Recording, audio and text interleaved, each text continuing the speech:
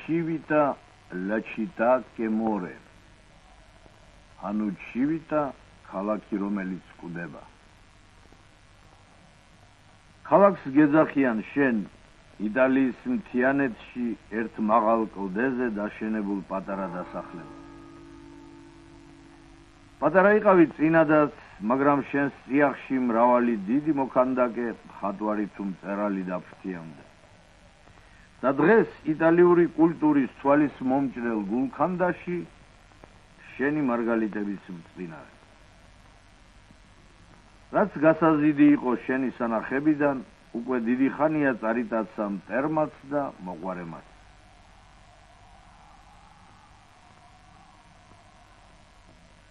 დაცარიელდნენ შენი პატარა ქუჩები და თავად შენი სახელიც ჩივიტა დღეს ყველასათვის სიცარიელებს ჟღერს.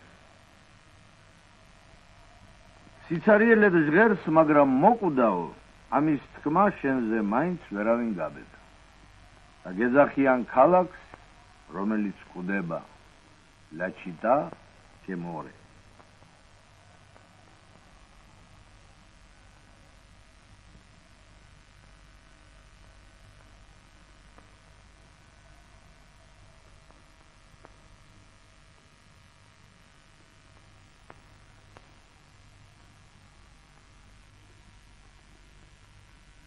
უცხო თვალი იოლად ვერ შენიშნავს შენს მომაკვდაობას. ღია ფანჯრების რაფებზე თუ კიბეებზე, ქუჩის პირებზე თუ კედელ ყურებზე, ათასფერად ღვივიან მზრუნველი ხელით მოვლილი და გახარებული ყვავილები. და არავინ იცის, რომ ჩივიტას 4 მკვიდრი 4 მოხუცი ადამიანი ქმნის ამ ქალაქში სიცოცხლის ილუზიას. 4 მოხუცი გვის ყველა ქუჩას მიტოვებული სახლების ფანჯრების რაფებზე რწყავს და ახარებს ყვავილებს და სადრესასწაულო დღეებში 4 ვერთად რეკს უზარმაზარ ზარს კარებდაგმანული ტაძრის დადუმებულ სამრეკლოზე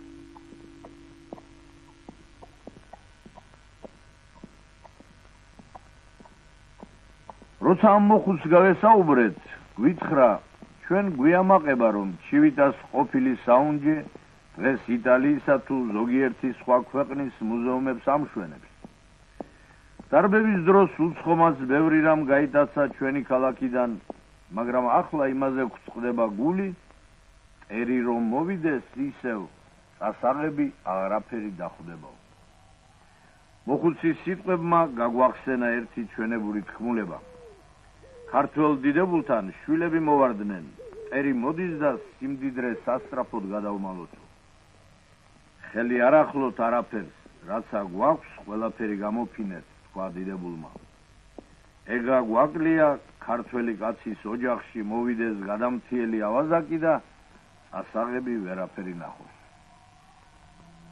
ამიტომ წარუმზღვარეთ ჩვენს ფილმს ჩივიტას ჩანახატი პროლოგის მაგია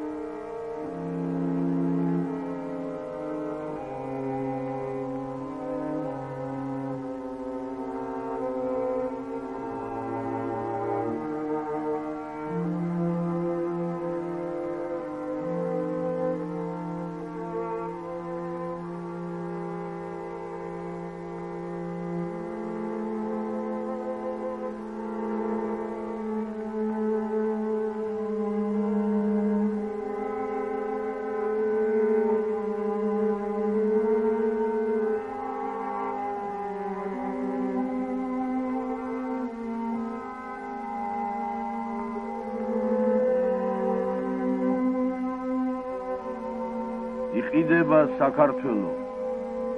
მინდორველით თაგორით ტყით ვენახით სათესით არსულის ისტორიით მომავლის შვებედით შვენიერი ენით ვაშკაცური ხასიათით სტუმართ მოყარეობით ჩუქურთმიანი მონასტრებით და ეკლესიებით ერით ბერით მალხაზი ბავშვებით ვერცხლის ფერთმით შემოსილ პატივსადებ მოხუცებით ყიდის ყველა ვაჭარი ავაზაკი დიდი და პატარა ჭკვიანი და სულელი ლოთი და პირაკრული იყიდება ყველგან ქუჩაში და სახლში თეატრში და სასამართლოში სასწავლებელში სატუსაღოში მატარებელში დილით და ღამით დარში და ავდარში იყიდება ერთიანად შავი ზღვიდან კასპიის ზღვამდე იყიდება ნაწილ-ნაწილ იყიდება პატარ-პატარა ნაჭრებად ნისიად უფასოდ ნაღდად დროებით და სამუდამ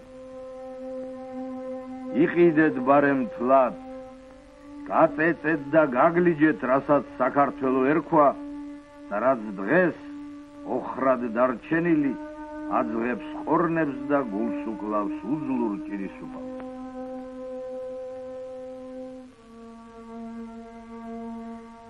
ნიკოლორ ტკიფანიძის ეს ნაგვიანების სულის ყივილი თითქმის მთელს ჩვენს წარსულს ეხება და არც მე-19 საუკუნე აღმოჩნდა გამონაკლისს.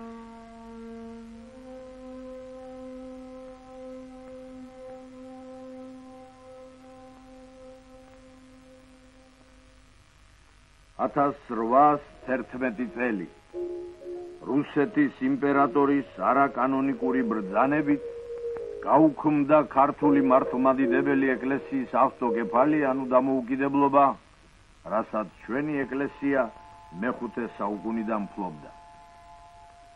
ახალი ბრძანებით ის შეიყვანეს რუსეთის ეკლესიის წმინდა სინოდის შემადგენლობაში მე-14 ადგილზე და ამ დროიდან ვიდრე 1917 წლამდე ქართულ ეკლესიას კათალიკოს პატრიარქის ნაცვლად ეგზარხოსები მართავდნენ. რუსული პროგრესული ინტელიგენციის ბევრმა წარმომადგენელმა აღიმაღლა ხმა цаრიზმისა მორიგი უსამართლო ქმედების წინააღმდეგ. მაგრამ ამაოდ 1907 წელს მოსკოვში გამოცემულ წიგნში სუჯბი გრუზინსკი церкви ქართველი ერის მეგობარი და მისი კულტურის მოამაგე მოსკოვის უნივერსიტეტის პროფესორი მრავალი სახელმძღვანელოს ავტორი ნიკოლაი დურნოვო წერდა. Доблестный грузинский народ, более 12 веков на своих плечах выносивший нашествие магометанских полчищ, арабов, персиан, турок и кавказских горцев, сохранил православие во всей чистоте. А после потери автокефалии с 1811 года монастырей в Грузии закрыто 15 церквей более 800. Вот плоды хозяйничания и управления русской духовной бюрократии в Грузии Присоединяется к сказанному разграбление грузинских монастырей и святынь, стоивших десятки миллионов рублей, и взятие в казну грузинских церковных имуществ, стоивших до 150 миллионов рублей. ცნობილი რუსი მეცნიერი, ხელოვნების ისტორიკოსი, პეტერბურგის მეცნიერებათა აკადემიის აკადემიკოსი ნიკოდიმ კონდაკოვი წერდა: Грузинские древности расхищаются под предлогом обновления ветхих икон и крестов. Эти условия действуют разрушительнее, чем прежние нашествия персов и турок.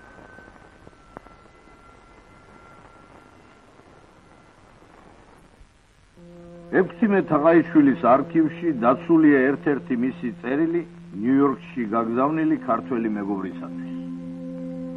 გასული საუკუნის 80-იან წლებში წერს ექვთიმე ვინმე საბინგუსმა, რომელსაც მხატვრული ფოტოგრაფია ჰქონდა პეტერბურგში, ეგზარხოსისაგან მიიღო უფლება გამოეტანა ქართული მონასტრებიდან ძველი ხატები, თითქოს და განახლებისათვის. ამ საბაბით უზურპასესი განძი იქნა გამოტანილი შემოქმედის, ჯუმათის, მარტვილის, ხობისა და საქართველოს სხვა მონასტრების. მან უმთავრესად წაიღო ქართულ და ბიზანტიურ მინანქროვანი ხატები, გაწყობილი ძვირფასი თვლებით, ჯვრები და სხვა მრავალი. რამოდენიმე წელი გავიდა და არავის არაფერი დაუბრუნებია. ქართველმა მღვდელმთავრებმა ეგზარხოს თხოვეს დახმარება მაგრამ პასუხად მიიღეს, რომ ხატების შეკეთება ჭიანურდება გამოცდილი ოსტატების უყოლობის გამო. ჯუმათის მონასტრიდან წაღებულია გაბრიელ მთავარანგელოსის ხატი მორთული 11 ბერძნულწარწეროვანი ქართული მედალიონით და მიქელ მთავარანგელოსის ხატი 10 ქართულწარწეროვანი მედალიონი. ნაზარცვის საბინგუსმა ძირითადად მიხიდა რუს კოლექციონერებს ბოტკინს, ბალაშოვს, ზვენიგაროვსკის. საბინგუსმა მხოლოდ ზვენიგაროვსკისგან მიიღო გასამრჯელოდ 30000 მანეთი ოქროს. თვითონ ზვენიგაროვსკი ასეც წერს საქართველოსში თავისი კოლექციონერული მოღვაწეობის შესახებ. В 1881 году я совершил путешествие по Кавказу, и у меня появилась потребность, доходящая до страсти, приобретать все, что только было возможно еще.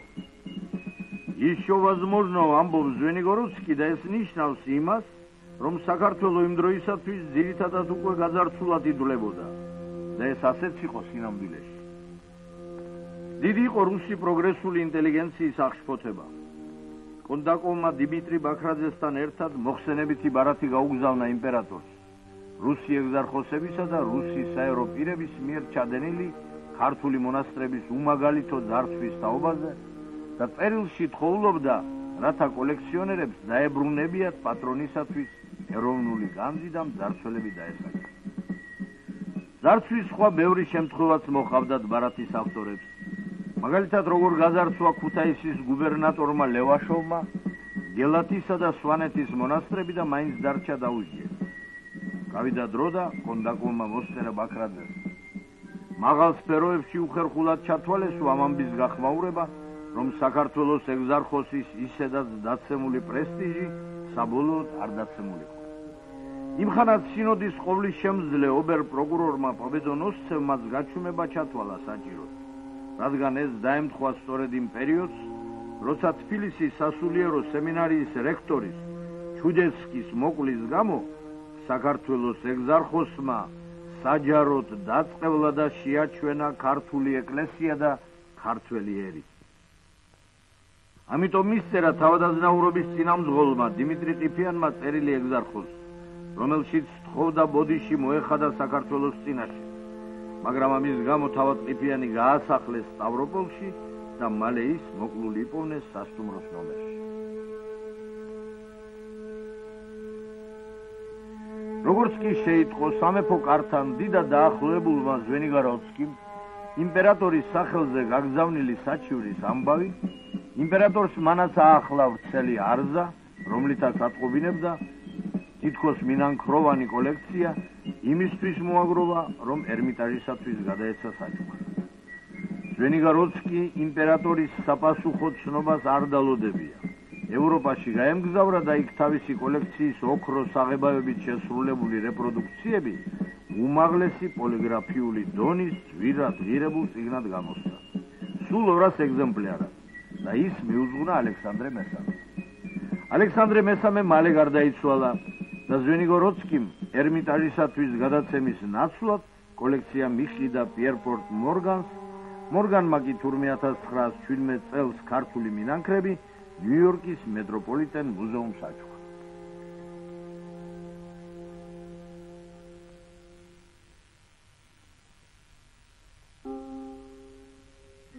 როცა ქართველი კაცი დაინტერესდები შენი მინანქრების მეტოქეებით გარე სამყაროში, მეცნიერები პირველ რიგში ვენეციისაკენ მიგანიშნებენ. ასე გამოიყურებოდა ვენეცია მე-15 საუკუნის რუკაზე.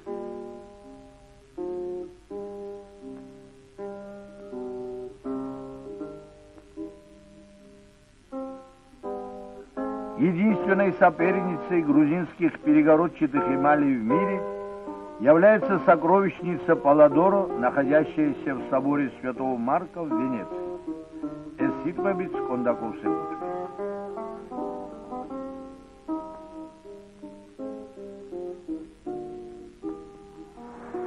იტალიაში მოხვედრისას ყოველთვის გვაწვალებდა დიდი და განუხორციელებელი სურვილი ფირზე გადაგვეღო ვენეციის ცნობილი პალადორო, როგორც მსოფლიოში ერთადერთი მეტოქე ჩვენი ტიხული მინანქრების. გადაგვეღო რომ საშუალება მოგვცემოდა ერთმანეთისთვის შეგვედარებინა ორი უმაღლესი სინატიფის სხვადასხვა ეროვანი საუნჯი მაგრამ სამწუხაროდ სან მარკოს ტაძრის საკურთხეველში კინოაპარატის შესვლა ალბათ ამჯერადაც აუხდენელო ოცნებად დარჩა. საქვეყნოდ გახმაურებული ქართული ანსამბლი რუსთავი დღეს კიდევ ერთხელ ესტუმრა იტალიას. მრავალფეროვანი ანსამბლის ერთვიანი საგასტროლო მარშრუტი, მაგრამ ამ სიაში არაა ვენეცია. ქალაქი, რომელიც ამ ქვეყნას ყველა ეროვნების ადამიანს მისი საკუთარი სიზმარი გონია. და ახლა ჩვენთვის უვენეციოთ ყველაფერი უფერულდება. რადგან ამ საოცნებო ქალაქში კონცერტი კი არა, ექსკურსიაც არაა დაგეგმილი. ვენეციის მერი ნერეოლა რონი ჩვენი უახლოესი მეგობარია. მაგრამ გვიმძიმს მისი შეტუხება. ის დიდათაა დატვირთული. განსაკუთრებით აგვისტო-სექტემბერში. ამ პრესტიჟულ სეზონს სოფლიოს ყველა კუთხიდან ვენეციაში სტუმრად ჩამოსული უცხოელები მეფეებიცა და დედოფლებით, პრინცებიცა და ელჩებით ყველა მოსანახულებელი ხავს ვენეციის მერ. ჩვენ მას არ შევხვმიანები ვართ, მაგრამ ნერეო ლარონიმ თვითონ მოგზებნა ტელეფონით და როცა შეიტყო რომ ანსამბლიც იტალიაშია, ანსამბლიანად მიგვიწვია ვენეციაში. მიგვიწვია და დაუჯერებელი რამ გააკეთა. იტალიის პარლამენტის დადგენილებით უკანასკნელი 3 წლის განმავლობაში სან მარკოს მოედანზე აკრძალულია ყოველგვარი ხმოვანი სანახაობის ჩატარება. და მიუხედავად ამ აკრძალვისა, ნერეოლა რონიმ სან მარკოს მოედანზე, მოედანზე რომელსაც კარუზოსა და ჯილის უკვდავი ხმები ახსოვს, აშენა საგანგებო სცენა რუსთავის ანსამბლისათვის. რადიოფიცირებითა და საერთოდ ყველა საკონცერტო აუცილებელი პირობის გათვალისწინებით. ბილეთების გაყიდვაც აგრძალა და ვენეციის მრავალ ეროვან, მრავალათასიან სტუმართათვის უფასო კონცერტის აფიშები დააბეჭდინა სახელდახელოდ. ასეთი პატივისცემის შემდეგ, რა თქმა უნდა, არც გვიფიქრია, მერისათვის კიდევ ერთხელ გვეთხოვა დახმარება სან მარკოს ტაძარში პალადოროს განძის გადასაღებად. კიდევ ერთხელ თქო ვამბობ, იმიტომ რომ შარშა ნერეომ გვითხრა არ მიწყინოთ, მაგრამ პატრიარქს ვერც მიუმართავ მასეთი თხოვნით, რადგან წინდა წინ ვიცი უარს მივიღებ. კონცერტი ამ საღამოს უნდა შედგეს და ამიტომ ისევ ესტუმრეთ მერს მუნიციპალიტეტში.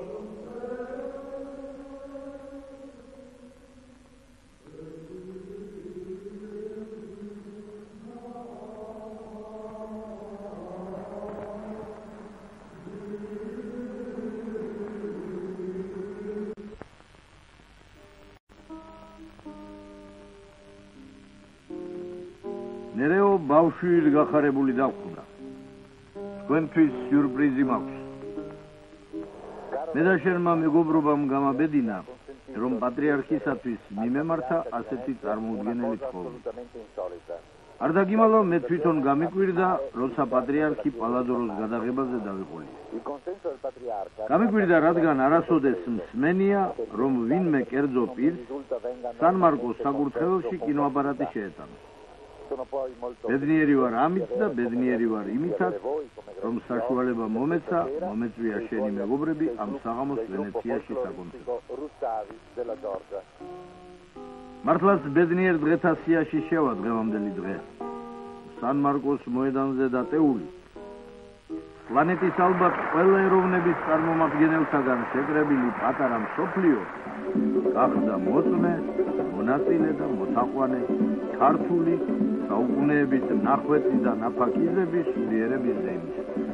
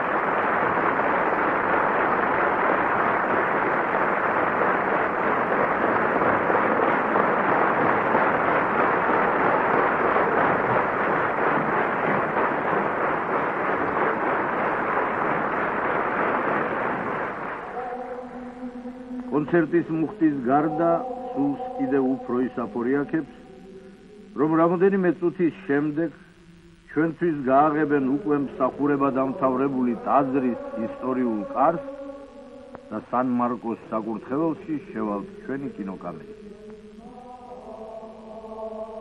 იდუმალებითა ახსავსე სან მარკოს უკვე შუქ ჩამქრალი ტაძარი.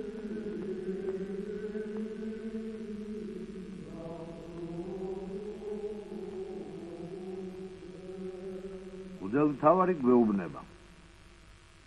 ალადოროს საგანძურში დაცული რამოდენიმე მინანქარი სადღაც თქვენი მხრიდან უნდა მომდინარეობდეს. პატრიარქსა და ნერეულ არონის იმაზედაც მოველაპარაკეთ, რომ უახლოესი ორი წლის განმავლობაში ქართულ და ვენეციურ სიძველეთა საგამოფენო გაცვლა მოაწყო.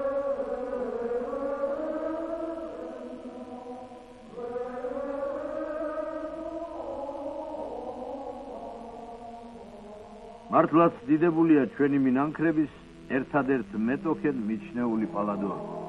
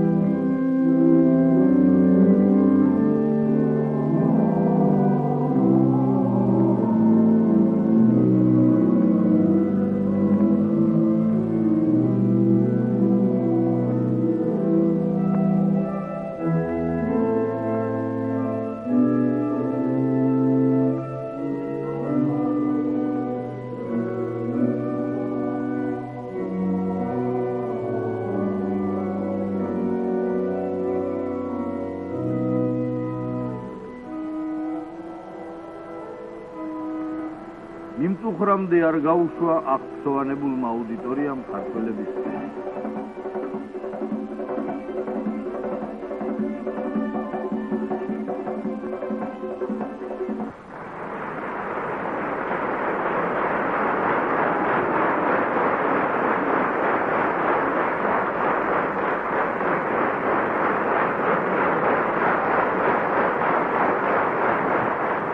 კონცერტის ბოლოს ზოგიერთ ევროპელთათვის უჩვეულო და იტალიელთათვის ჩვეული გულუხობით გვანადიდა.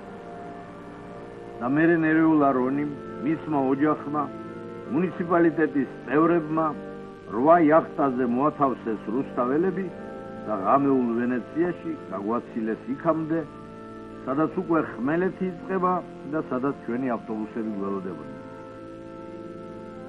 იმ დღეს რედენტორედ წოდებული დიდი ტრადიციული დღესასწაული იყო, რომელიც ღამე კანალ გრანდეზე ფერვერკებით მთავრდება ხოლმე. ფერვერკების ჭექა კუხილი ჩვენ სულიერ განწყობასაც გასაოცარი სიუჟეტი დაერქვა.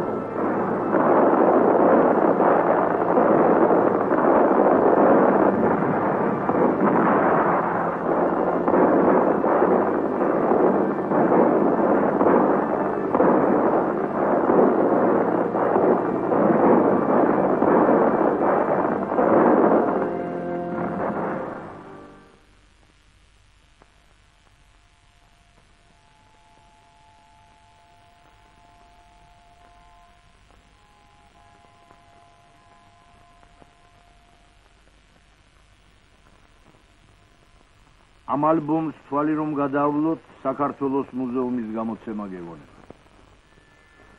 სამდულეში კი ეს 1911 წელს და სტამბული ქართული მინანქრების ბოტკინისეული კოლექცია.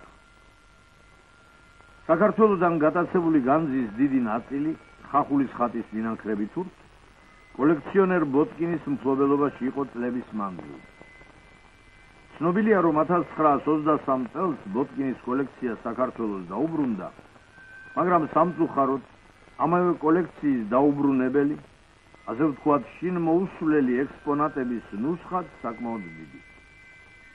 ზოგი რამ რუსეთშივე დარჩა. ნაწილი კი უცხოეთის ქვეყნებში მიმოიფანტა. მაცხოვრისა და ღვთისმშობლის ამ ორი მინანქროვანი ოქროს ფირფიტის ასავალ დასავალით ბოლო დრომდე არავინ იცოდა. მაგრამ დღეს უკვე მათ ყვალზე შემდგარი აქ ფინეთში ვარ ჩამოსული.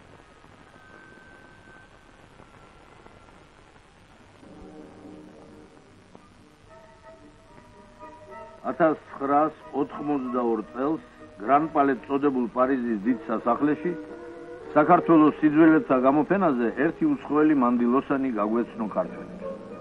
ფინეთში ჩვენმა მუზეუმმა ახლახან ეს ორი გაურკვეველი წარმომავლობის მინანქარი შეიძინა. თქვა და ორი დიდ ფორმატიანი სლაიდი გვაჩვენა. ვიცით რომ საქართველოს მინანქრული ხელოვნების უძველესი ქვეყანა და იქნებ თქვენი მეცნიერები დაგვეხმარონ ამ ფირფიტების წარმომავლობის დადგენაში.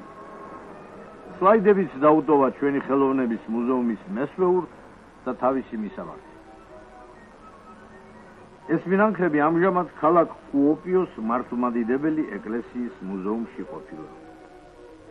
უოპიო საბჭოთა ტურისტების მარშრუტში არაა შეტანილი, მაგრამ საშუალება გვეძლევა ერთი დღეღამით დავშორდეთ ჯგუფს და ამავე ღამეს გავემართოთ უოპიოსთან.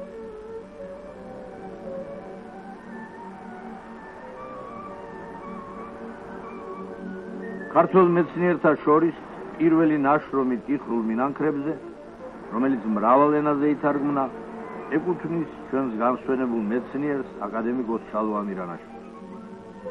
არსებობს რუსუდან ყენიას შესანიშნავი გამოკვლევა ხახულის ხატის ჭედურობაზე. მაგრამ ფინეთში მოხვედრილ მინანქართა საკითხის გარკვევა რა თქმა უნდა ვერასწრებოდა დღეს ამ დარგის საუკეთესო მსოდნეს ხალბატონ ლეილა ხუსკივაძე. რომელსაც თავის ფუნდამენტურ ნაშრომში ეს უკვე დადგენილი ჰქონია.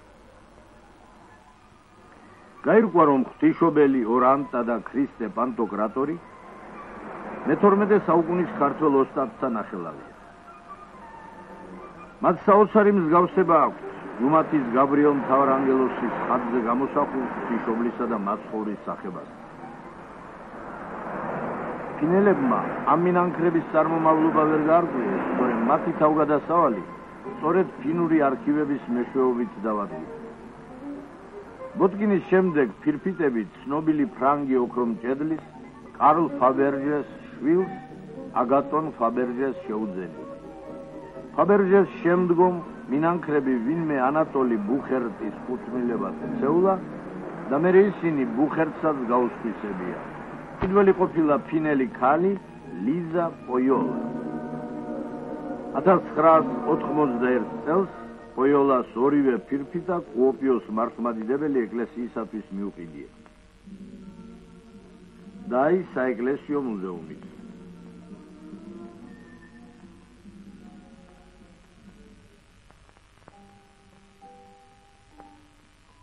შესვლისთანავე თვალში გვეცა მუზეუმის კატალოგი, რომლის ყდაზე სწორედ ჩვენი მინანქარი აღმეჩნდა.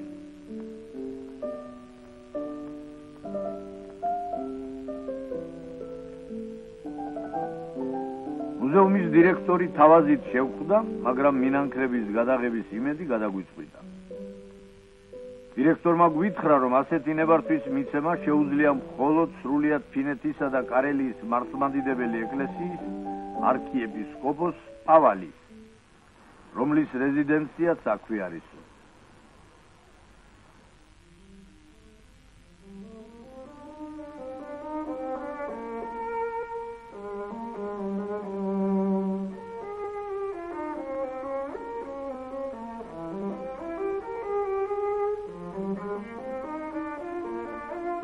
საცნო და გულღია კაცი აღმოჩნდა ჩვენი მასპინძელი.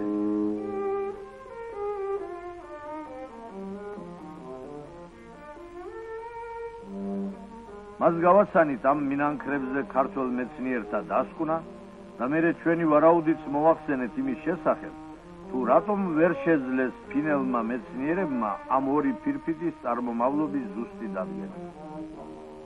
ალბათ იმიტომ, რომ სადღეისოდ ცნობილია ქართული მინანქარი ქართული სტილისტიკისა და ქართული მინანქარი ბიზანტიური ორიენტაციის. ისიც აუხსენით, რომ ბიზანტიური ორიენტაციის ქართული მინანქარი განსხვავებულია თავისი ქართული თავისებურებით, მაგრამ ფინალ მეცნიერთა მსგავსად, ბევრ სხვა მეცნიერსაც არაერთხელ მოსვლია ასეთი შეცდომა, როცა ბიზანტიური ორიენტაციის ქართული მინანქარი განსაკუთრებით ბერძნულ წარწეროვანი ბიზანტიურად მიუჩნევია ხოლმე. და ბოლოს არქიეპისკოპოს ჩვენი ყოფილი კუთვნილების ფირზე გადაღების ნებართვას ვხოვეთ. მასპინძელმა წერილობითი ნებართვა მოგცა და იმასაც დაგვირდა, რომ ქართულ მეცნიერთა დასკვნა ამ ორი მინანქრის შესახებ მიღებული იქნება ოფიციალურ სერტიფიკატად და დღესვე დაიწერება სამუზეუმო სტენდზე.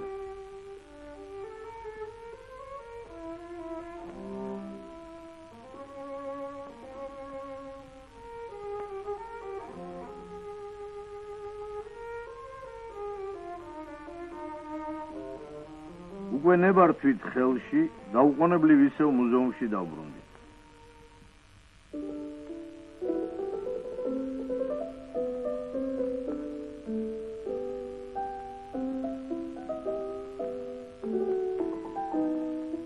თუ დღემდე ჯავშნიანი შუშის ქვეშ სიგნალიზაციით დაცული ასე უსახელოდ და უწარწეროდ გამოფენილი ჩვენი ორი მინანქარი საეკლესიო მუზეუმის ანონიმურ მშვენიერებად ითვლებოდა დღეიდან ისინი ქართული ხელოვნების ელჩებად დარჩებიან უცხო ჩრდილოეთში და პლანეტის სხვადასხვა კუთხეებიდან ამ დიდად პრესტიჟულ მუზეუმში ჩამოსული მრავალი ათასი ტურისტი შეიტყობს რომ ისევ არსებობს ის პატარა მაგრამ დიდი სულიერების ქვეყანა რომელიც ჯერ კიდევ ჰეიროდის თავს იწონებდა ასეთი უნატიფესი ხელოვნების მწვერვალებიდან.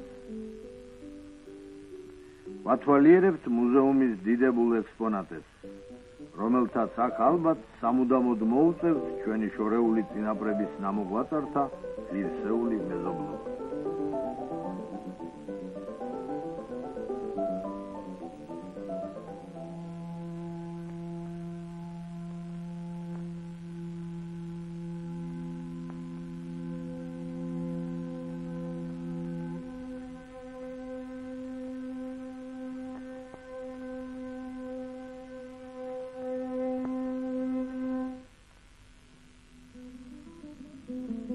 ესპანეთიდან საერთოდ პირენეის ნახევარკუნძული საქართველოსთვის არც ისე უცხო მხარეა. სხვა რომ არაფერი მადრიდში ფილიპ მეოთხეს კარზე ქართული ელჩობაც კი იყო მე-17 საუკუნის დასაწყისში. მაშინ თეიმურაზ პირველმა საქართველოსთვის დიდ მნიშვნელოვანი მისიით გამოგზავნა ელჩად ნიკიფორე ირბახად წოდებული ნიკოლოზ ირუბაქიძე ჩოლოყაშვილი.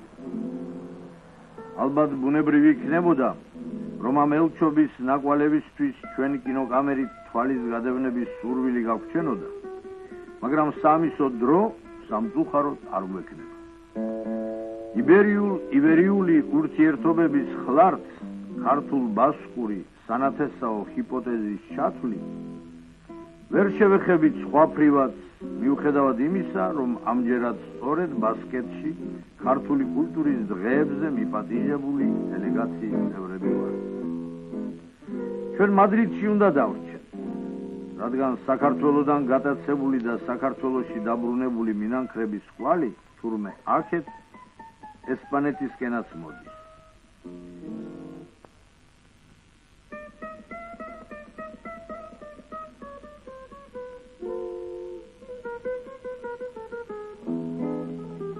ლამანჩელის სამშობლოში ქვეყნის მთელი მშვენიერება მარტო მადრიდის პრადოში კი არა თავმოყრილი. ჩვენთვის დღემდე უცნობი კერძო მუზეუმი ლაზარო გალდიანო თავისი ზოგიერთი უნიკალური ექსპონატით სოფლიოს მრავალ განთქმულ განსაცავსად ეპაექრება. აქაურ მინანქრებს მიეძღვნა ესპანურ ჟურნალებში დასტამბული ორი ნარკვევი. ამერიკაში მცხოვრები ჩვენი თანამემამულის პროფესორ ვახტანგ ჯობაძისა.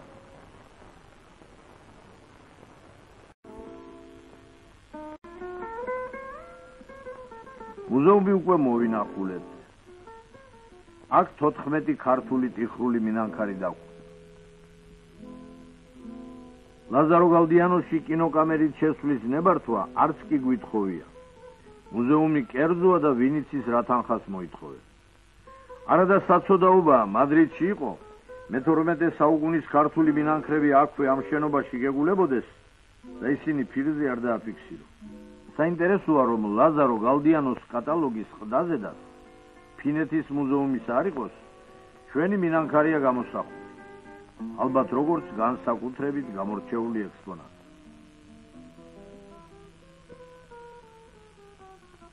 ვეძებთ გამოსავალს.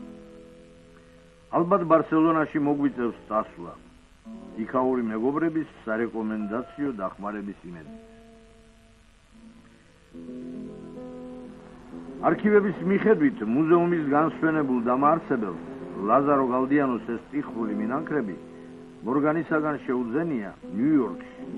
და ვინაიდან ცნობილია, რომ მორგანმა რუსეთის იმპერიიდან გატანილი მინანქრები ზვენიგოროდსკისაგან იყიდა, მუზეუმს და ზოგიერთ სხვა მეცნიერსაც ლაზარო გალდიანოს მედალიონებიც ზვენიგოროდსკის კოლექციის ნაწილი გონია.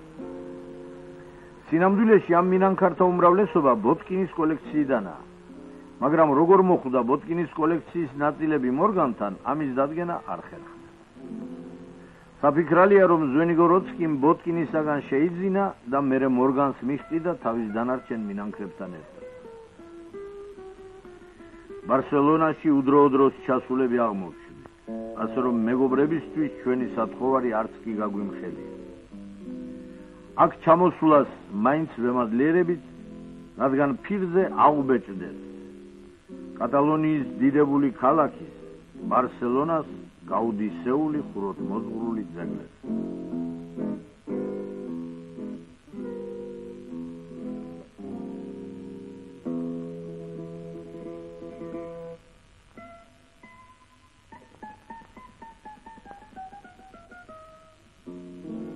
იხსენებთ რომ მადრიდში ყავს ერთი მეგობარი რომელიც ალბათ შეძლებდა ჩვენს დახმარებას.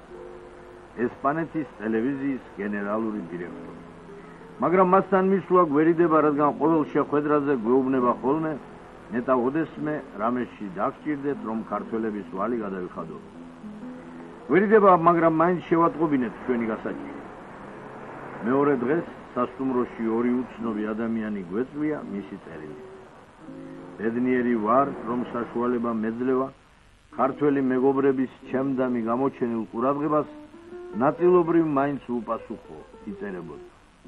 ჩვენი ტელევიზია უკვე მოელაპარაკა მუზეუმს, შეგიძლიათ მიბრძანდეთ და რაც გნებავთ ის გადაიღოთ. უხერხულად ვიგრძენით თავი, მაგრამ უხერხულობის გრძნობა სიხარულის გრძნობამ დაჩაგრა და იმავ წამს ლაზარო გალდიანოსკენ გამართა.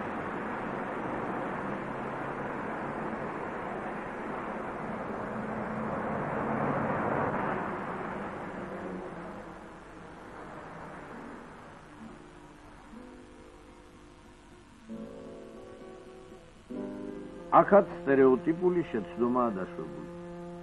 ეს ქართული ბერძნულ წარწეროვანი მინანქრები ბიზანტიურადაა მიჩნეული. მაგრამ ჩვენ უკვე ვესაუბრეთ მუზეუმის მეცნიერ თანამშრომლებს და პირობა მოგცეს, რომ ეს შეცდომა სამომავლოდ გასწორდება.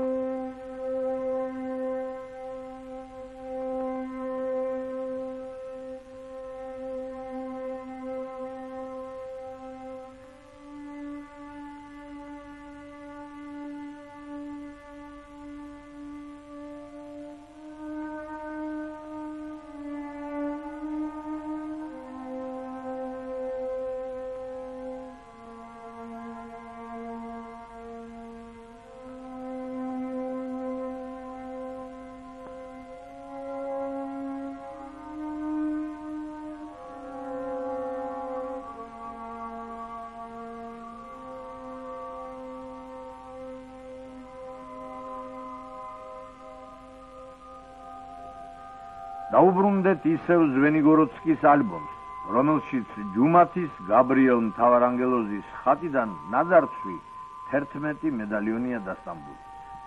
გავიხსენოთ ისიც, რომ ზვენიგოროდსკიმ მორგანს მიჰყიდა თავისი მედალიონები.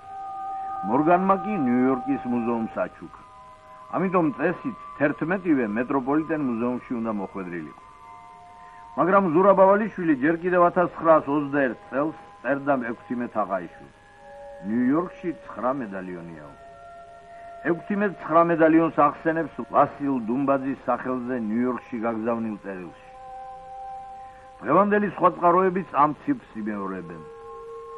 თუ კი ასია, სადაა დანარჩენი ორი მედალიონი? სადაა და ერთი მათგანი თბილისშია.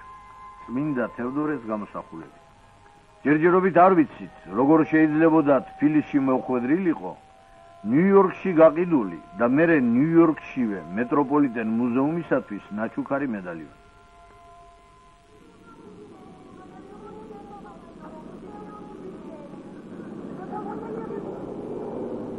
ესპანეთიდან დაბრუნებულებს უკანა გზაზე 48 საათიანი ვიზები გვაქვს პარიზში შესაყოლებლად. და გვინდა ჩვენი სამინანქრო ეპოპეა ნაწილობრივ იქაც გარვა. ამათი წლის წინ პარიზში კლუნის მუზეუმის დათვალიერებისას ჩვენი ყურადღება მიიპყრო ერთმა მედალიონმა და ერთმა მინანქროვანმა ნატეხმა. მედალიონი საოცრად გავდა იმ ბერძნულ წარწეროვან ქართულ მედალიონებს ჩვენთან თბილისის მუზეუმში რომ გვინახა. მინანქროვანი ნატეხი კი იმ თბილისურ ნატეხს ადრე ბოდკინის კოლექციაში რომ იყო და ხახულის ხატის ფონად რომ ითვლება ჩვენ სამეცნიერო ლიტერატურაში. კლუნის მუზეუმისკენ მიზან სტრაფულად გამოვემართეთ და უკვე ზუსტად ვიცით რომ აქა მინდა დემეტრეს მედალიონი. სწორედ ის მე-11 მედალიონი ჯუმათის გაბრიელ მთავარანგელოსის ხატიდან ზვენიგოროდსკის ალბომში რომაა დასამული.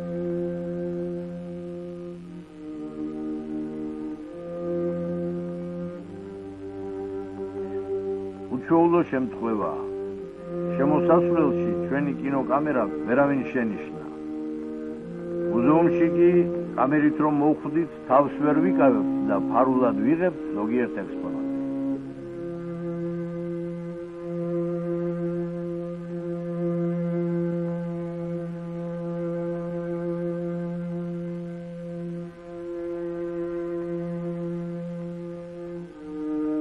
აი ჩვენი წმინდა დემეტრე დაი ჩვენი ხახულის ხატის მინანქროვანი ფონის ნატეხი. ამერიკიდან აქ როგორ მოხვდნენ ეს მინანქრები? ამის გარკვევას მუზეუმში ვერ დავიწყებ. მუზეუმიდან ახლა გასწრებაზეა საქმე. ამას ალბათ ნიუ-იორკში დავაზუსტებთ. თუ იქ მოხვედრა, მომავალში მაინც შევძელე.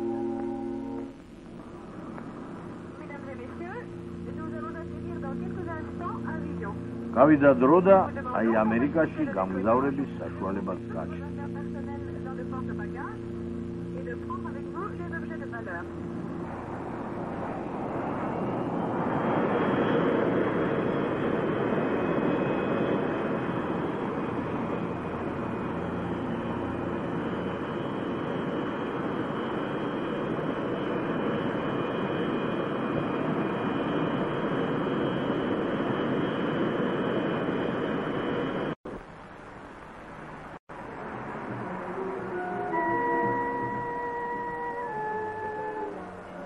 ამერიკაში ჯუმათის მონასტრის მედალიონების გარდა ხახულის ხატის მინანქროვანი ფონის ნატეხებიც გვაინტერესებს.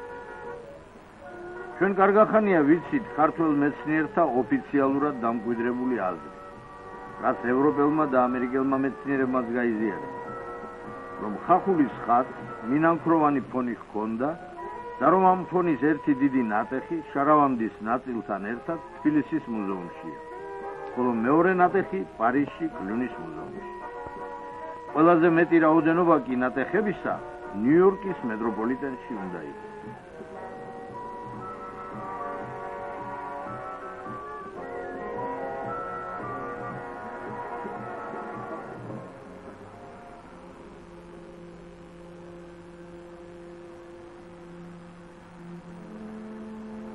აი მეტროპოლიტენ მუზეუმში შევდივართ კიდეც. ასე მუზეუმის კორიდორებს გავივლით, მათ გადაღებას არავინ აგვიგრძალავს, მაგრამ როცა დარბაზების შესასვლელთან მივალთ, იქ კინო და ფოტოკამერებს დაგვატოვებინებენ. საოცარ განსაცავებს ვნახავთ და ბოლოს ჩვენი მინანქრების სტენდის წინ აღმოჩნდებით. რადგან კინოკამერა არ შეგვატანიეს, ამჯერად ამ ჩვენი ჩანახატით უნდა ვისარგებლოთ. ხახულის ხატის ფონის ნატეხები აი ასე დაგვხვდა თავმოყრილი და დამონტაჟებული. ეს ხუთი ნატეხი ყოფილა მეტროპოლიტენის საკუთრება. სამი ნატეხი კი ფოტოებითაა წარმოდგენილი. აქედან ამ ორი ნატეხის ორიგინალი თბილისის ხელოვნების მუზეუმშია. ამ ნატეხის ორიგინალი კი პარიზში კლუნის მუზეუმში. მეტროპოლიტენის ამ ნაწილს, სადაც ჩვენი მინანქრებია, განაგებს ეგრეთ წოდებული შუა საუკუნეების ხელოვნების დეპარტამენტი. ამიტომ სწორედ მათ თხოვეთ მინანქრების გადაღების ნებართვა, თუმცა წარმატების იმედი თითქმის არ გქონია. ჩვენთვის მოულოდნელი და უჩვეულო არაფერი მომხდარა. გადაღებაზე ცივი უარი გვეთქვა. მაგრამ ბოლოს მუზეუმში ისეთი რამ მოხდა, რომ მოყოლა დღის. რამოდენიმე დღე დავდიოდით მეტროპოლიტენში და სევდიანად ვიდექით ხოლმე ჩვენი ყოფილი საგამძურის სტენდის წინ. და რაც უფრო მეტად ვაგვირდებოდით ამ მინანქრებს, მით უფრო მეტად ვგრძნობდით, რომ მათში რაღაც გვეუცხოებოდა. და ბოლოს და ბოლოს მივხვდით, ეს ნატეხები ნამდვილად არა ხახულის ხატის ფონისა. აბა დააკვირდით ღვთიშობლის აჩრდილის კონტურს. მისი ორიენტაცია მარჯვნიდან მარცხნივა. ესე იგი, აქ ღვთიშობელს სახე მარცხნივ აქვს მოbrunებული. ხოლო ხახულის ხატის ღვთიშობელს კი პირიქით მარცხნიდან მარჯვნივ. არც ზომები ემთხვა. მუზეუმიდან გამოსulis შემდეგ მთელი საღამო ვფიქრობდით იმაზე, რაც ამ ჩვენი ეგრეთ წოდებული აღმოჩენის შემდეგ მოხდა. მოხდა ის, რომ ჩვენი ეჭვი შუა საუკუნეების ხელოვნების დეპარტამენტს გავანდეთ და ამ მოულოდნელმა ცნობამ დასაწყისში დიდად დააბნია მასპინძელი. მერე კარგა ხანს გრძელდებოდა გაზომვები, შედარებები, ფიცხელი ბჭობა და ბოლოს ყველა მერცხმა დაღიარა რომ აშკარა შეცდომაა დაშვება. მეტად უცნაური სიტუაცია შეიქმნა. მასპინძლებს უხერხულობის გზნობას გაუჩნდათ და თითქოს მადლიერებისა. ისიც გვითხრეს ჩვენი შეცდომა ალბათ ის იყო რომ ახულის ხატთან დაკავშირებით თქვენს ზოგიერთ წყაროს ბრმად ვენდები. ერთადერთი რაც დარჩა ერთ მიუტანელი ის რომ ნატეხები წარმომავლობით ნამდვილად საქართველოსდან თბილისში დაბრუნების შემდეგ გავეცანით სხვა მოსაზრებებსაც ზეპირად გამოთქმულსა თუ დასწავლულს. თურმე ადრევე ყოფილა ეჭვი თუ ვარაუდი იმისა, რომ ეს ნატეხები ხახულის ხატის არ უნდა იყოს. მაგრამ მეცნიერებს ალბათ საშუალება არ ჰქონდათ ასე თავმოყრილად და აწყობილად ენახათ სხვადასხვა ქვეყნების მუზეუმებში დაცული ყველა ნატეხი და ამიტომ ოფიციალურად დამკვიდრდა მცდარი ვერსია. დღეს კი როცა ნატეხების დამონტაჟებულად ნახვის საშუალება მოგვეცა, გამოირგვა რომ ჩვენ და საბედნიეროდ ხახულის ხატის გარდა კიდევ გქონია ჩვენთვის უცნობი დიდებული ხატი, ხატი მინანქროვანი, რომლის დაკლებული ნაწილები ჯერ კიდევ საძებნელი იქნება. ხელოვნების დეპარტამენტის პროფესორს მარგარიტ ფრეზერს ხოვეთ რამდენიმე სიტყვა ეთქვა საერთოდ ჩვენი მინანქრების შესახებ. იახ ითვლებოდა რომ ეს მინანქრები ხაფულის ღვთისმშობლის ხატის ფონის ნაწილები. ეს იყო და ეს რაც ვიცოდით ამ მინანქრების შესახებ. თავად ყველა ნატეხს მივიღებ ხატის ფორმას. ამ ხატზე ღვთისმშობელი ლოცვა დაღმართული ხელები მართლაც მარცხნივაა მოbrunებული. ხახულის ხატის ღვთისმშობელი კი მარჯვნივაა მიმართული. ამდენად ეს ფრაგმენტები სინამდვილეში არაა ერთი და იგივე ხატის ნაწილი. მაგრამ ჩვენ ოდნავადაც არ გვეპარება ეჭვი, რომ ეს ჩვენი მინანქრებიც ქართული წარმომავლობისაა.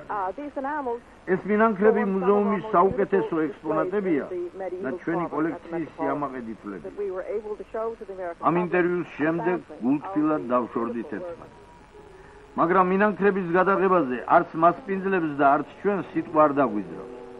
ანკი როგორ დავზრავდით სიტყვას, როცა შევიტყეთ რა ჯდება ხოლმე მეტროპოლიტენში კინოგადაღების ყოველი საათი. ერთმა ნაცნობმა ამერიკელმა აგვიხსნა, რატომ ღირს ასე დაუჯერებლად ძვირი მეტროპოლიტენში კინოგადაღება. მუზეუმში მოქმედი ექსპოზიციის გადაღება, როცა ამისი ნებართვა არსებობს, თურმე შესაძლებელია მხოლოდ დასვენების დღეს. ამისათვის კი საჭირო ყოფილა სხვადასხვა დარგის სპეციალისტების საგანგებო მოწვევა. გადაღებისათვის აუცილებელი არიან ელექტრიკოსები და სადაც ელექტრიკოსებია, იქ მეხანძრეების ყოფნაც სავალდებულოა. გადაღებას უნდა დაესწრონ შუა საუკუნეების ხელოვნების დეპარტამენტის მეცნიერ მუშაკებიც, როგორც ამ განძზე უშუალო პასუხისმგებლები. და რადგან ყველანი არასამუშაო დღეს უნდა იქნენ გამოძახებული, ყოველ მათგანს სამმაგი გასამრჯელო ერქვა. აი რატომ ღირს ასე ძვირი მეტროპოლიტენში გადაღების ყოველი საათი.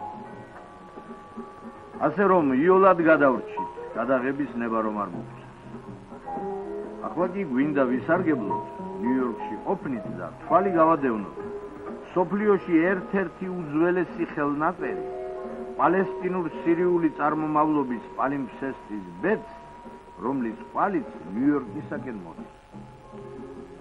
ცნობილია რომ ამ პალიმსესტის ზედა შრე იოანე ზოსიმეს ხელნაწერი. ამ პალიმსესტის თავგადასავალი ასეთი. ქართულ განმანათლებელთა საქმიანობა სინას მთაზე წმინდა ეკატერინეს მონასტერში ჯერ კიდევ მე-6-ე, მე-7-ე საუკუნეებში დაწყებული. მაგრამ მათი ყველაზე ცხოველი ლიტერატურული მოღვაწეობა მე-10 საუკუნით თარიღდება.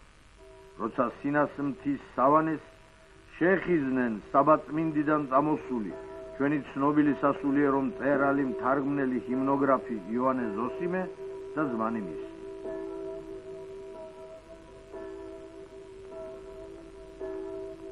ალექსანდრე ცაგარელი აღწერს ამ ხელნაწერს სინას მთაზე ყოფნისას და მეცნიერულ ლიტერატურაში იმ დღიდან ის ცაგარელი 91 სახელით ხდება ცნობილი 1902 წელი ივანე ჯავახიშვილი და ნიკო მარის სინასწას ეწვივნენ და ხელნაწერი იქ აღარ დახვდა.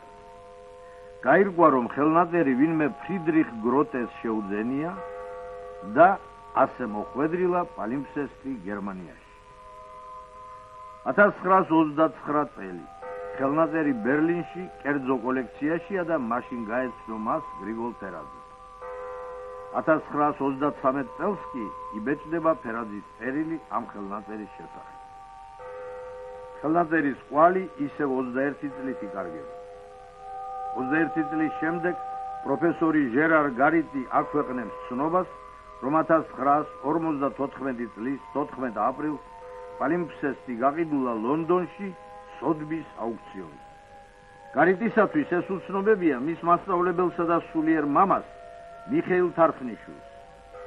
აუქციონზე მყიდველის ვინაობის გამხელა აკრძალულია, მაგრამ ეს საიდუმლოს გამჟღავნდა და გაირკვა, რომ ხელნაწერის მყიდველი იყო ვინმე ფიშერი, ამერიკელი კოლექციონერი ქალაქ დეტროიტიდან.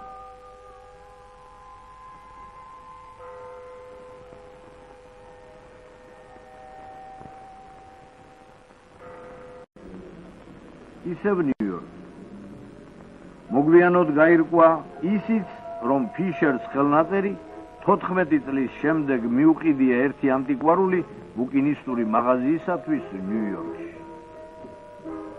ამ პალიფსესტის მნახველთაგან ცნობილი აგრეთვე გერმანელი მეცნიერი ასვალგი და ბელგიელი პროფესორი მიშელ ვანესბროკი.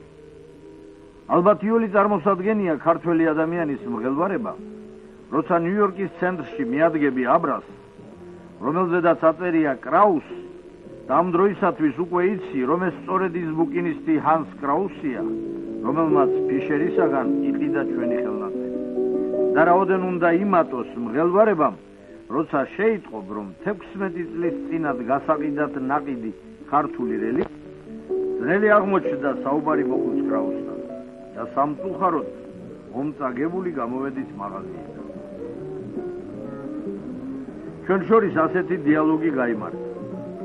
ბატონო კრაუს ხელნაწერის ნახვა თუ შეიძლება თქვენ რა ყიდვას აპირებთ არა ამჯერად ყიდვას ალბათ ვერ შევძლებთ მაგრამ ისე რამდენადაა შეფასებული. თუ არ ყიდულობთ ნახვა რა გინდათ, კატალოგითაც მიხვდებით, რომ ეს ხელნაწერი ფასდაუდებელია. მაგრამ მე სიმბოლიურად მცირე ფასი მაინც დავადე. 285000 დოლარი. 285000 დოლარი. ეს თანხა რამდენად მეაღემატება ჩვენს ტურისტულ შესაძლებლობას, რამდენად სტუმარმა სპინძელი უსიტყვოდ შორდებით ერთმანეთს. მაგრამ კრაუსმა არ იცის, რომ დღევანდელი დღე მასთან ურთიერთობის მხოლოდ პირველი რაუნდია. ორი დღე გრჩება სამშობლოში დაბრუნებამდე და კრაუსის მოდრეკის უკანასკნელ ცდას მხოლოდ ხვალ თუ ჩავატარე. ასეც მოხდა მეორე დღეს კიდევ ერთხელ ვესტუმრეთ მოხდა.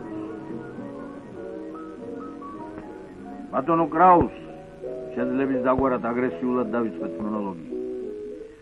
თქვენ ხომ ეს ხელნაწერი 16 წლის განმავლობაში ვერა და ვერ გაასხვისეთ.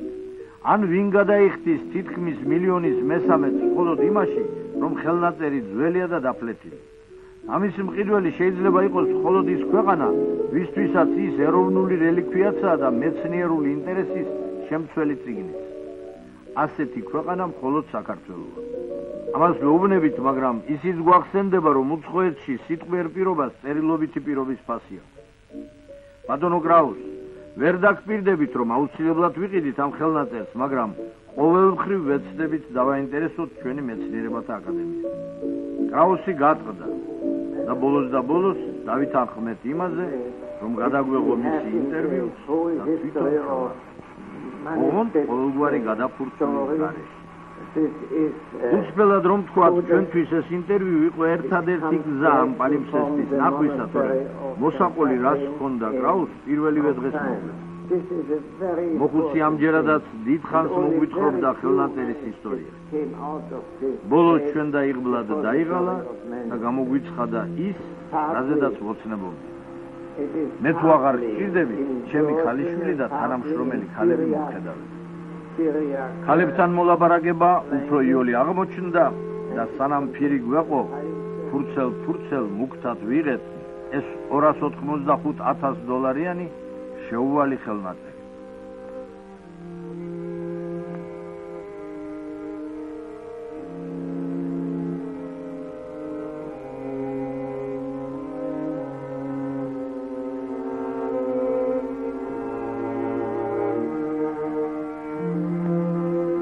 სასტუმროში ტელეფონი დაგვირეკა უცნობმა ქალბატონმა მუზეუმიდან. რომელმაც გვითხრა დილის 10 საათიდან 3 საათის განმავლობაში შეგიძლიათ აწარმოოთ თქვენი კინოგადაღება ბერნიერები გავეშურეთ მუზეუმისაკენ მადლიერებისა და მეგობრობის ნიშნად მუზეუმი თავის თავზე იღებს გადაღებასთან დაკავშირებულ ხარჯებს მოგვიანოთ შევიწყეთ, რომ ამ საკითხში ჩვენ სასარგებლოდ ჩარეულა ერთი მეტად გავლენიანი ჩვენი თანამემამულე, გვარად ერისთავი, ამერიკაში დაბადებული ერთხანს ნიუ-იორკის ვიცე-მერის თანამდებობაზე ნამსახური, ამჟამად საკუთარი საადვოკატო ბიუროს მფლობელი ნიუ-იორკში მეხუთე ავენიუზე.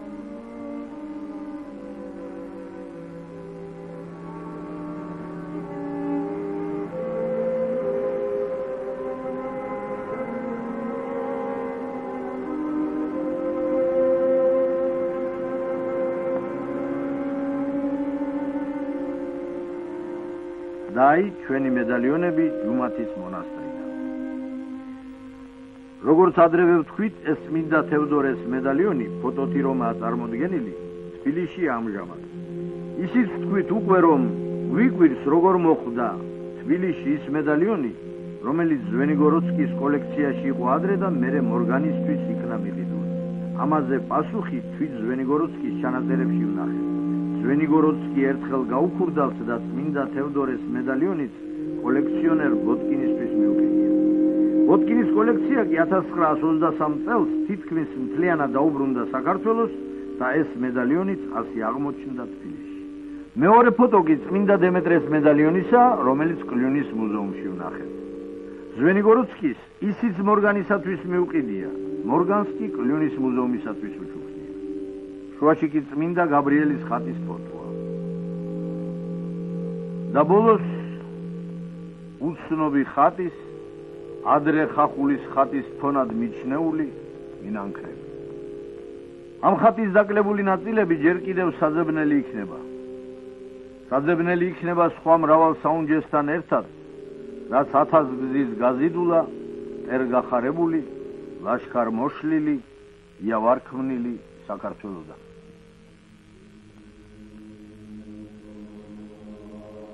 სულით უღრუბლობდა მოწმენდილო წინაპარო ჩემო. ზოგჯერ უსაფლავობდა დაუტირებელო უცხო ძვალ შესალაგებში უსაქართლო დარჩენილი საქართველოსი რომ ცხოვრობდი ხმლითა და გონებით რომ იხწვოდი საქართველოსთვის მაშინაც კი როცა სამშობლო შენი სამყვიდრო შენი იმ ჩიცა გავდა ობეს რომ ეხვეწება ქარს ნუ გამატალ დღეს შენს ნაკვალებზე დავდივართ შენი შთამომავალნი ამეულად გამოსულნი იმ საუნჯის საძებრად ჩვენთვის რომ გქონდა საკაიდღეოდ დაუნჯებული. მაგრამ ეშმაკთ მიმგებების ხელით ქვეყნად რომ მიმოიფანტა როგორც მარგალიტები უდაბნოში. ამ მიმოფანტული უბადლო ეროვნული მშვენიერების ყვალზე შედგომა ალბათ უკვე თქვენ დაგედებათ ვალად ალბათ უკვე თქვენ უნდა იყოთ ხელად 21 საუკუნის ქართველებო რომლებიც ჯერ არც კი დაბადებულ ხართ ან მხოლოდ ახლა იბადებით. ღმერთმა უტყუარი გეში ისმათიდან ათელი დღენი მოგცეთ ჩვენი საუნჯის სამძებრო გზებზე ხეტიალისას. უკუ გეფანტოთ ყველა ვინც წინ აღიდგეთ სიბრძნით აღჭურვილი მტერიც და რიყვი შეუსმინარი შინ ყოფი მოგეთეთ შრომაი და მოღვაწეობაი ღირსად ცხოვრებისაი და უწყებაი ღირსისა მის მოქალაქეობისა. კაცობრიობა იმ დროისათვის მაინც მოეგება გონს იმ დროისათვის მაინც დაცხრებიან და დაგრილდებიან სოფლიოს ამგრეული ნებები და კაცთა მოდგმა ალბათ უფრო მოიცლის ამგვარი წმინდა ქმედებისათვის. ალოცვილ იქნეს ზნემაღალი ცხოვრება და ღვაწლი თქვენი შთამომავალნო ჩვენო ატივდებულ და დიდება განფენილ საქართველოს